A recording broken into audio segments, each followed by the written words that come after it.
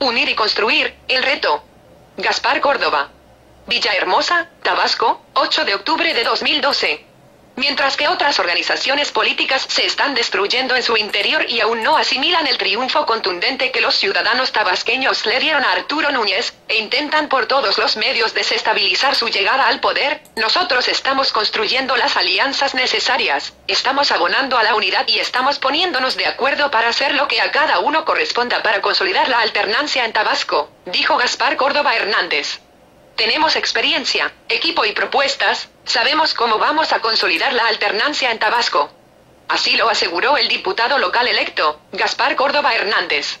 Al ser entrevistado, el también dirigente del partido Movimiento Ciudadano reafirmó la disposición al acuerdo y la negociación que han mostrado las fuerzas de izquierda en la entidad.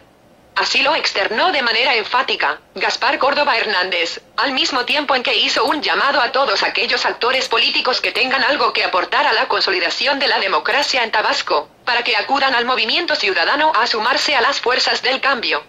Nosotros vamos a reorientar el destino de Tabasco, vamos a reactivar la planta productiva, vamos a impulsar la educación superior, la investigación científica y tecnológica para producir la tecnología que tanta falta nos hace para aprovechar adecuadamente nuestros recursos y generar los empleos que necesita Tabasco. Nosotros venimos a aportar y a construir, no a destruir, dijo el virtual coordinador de la fracción parlamentaria de Movimiento Ciudadano, Gaspar Córdoba Hernández.